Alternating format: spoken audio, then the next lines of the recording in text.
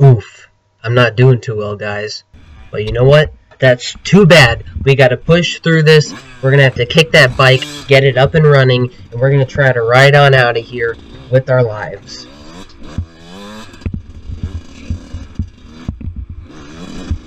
Mm-hmm.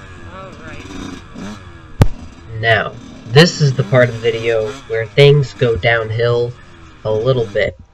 Uh, you guys may notice that my bike is tugging a little to the left. Here, let me just go ahead here. Uh, uh, I noticed this almost instantly during the race. I noticed that when I try to go straight, it's like, nah, nah, nah, boy. Here's what you gotta do, boy. You gotta go left. You see right over there to the left. And I say, no, no, no, sir, I do not want to go left. I want to go right. But it's like, oh, too bad. And it does weird stuff like that. Where, here's an example of turning left. I mean, my other left. Eh.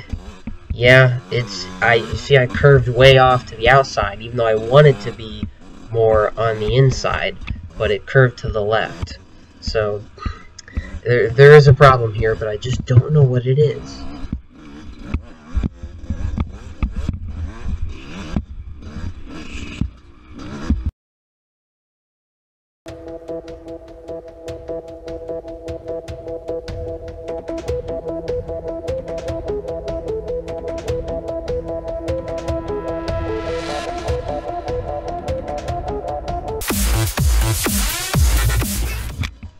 Alright guys, we made it back to the big mud holes section where all the uh, spectators are. We're going to push through our problem of curving off to the left and just see what happens here.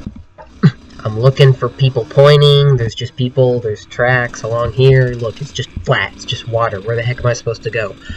I don't know. Let's hope there's not any holes. Oh my gosh. Oh, yeah, that was a deep hole. Eh, that wasn't good. And, uh, oh, yeah, I almost get stuck here.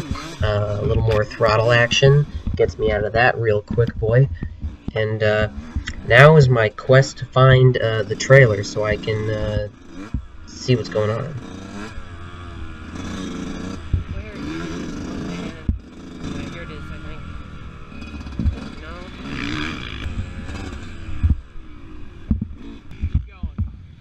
Alright, so I gave my broken uh, chest plate piece to my uh, pit crew and told them that uh, I think my fender may be bent or something because it's doing weird things, but hey, you know what? Who really cares, honestly? Just shut up right now. Just do the race, okay? And that race will, of course, be continued in the next episode, by far the most exciting episode. And uh, just tune in next time, guys, when I ride my motorized bicycle.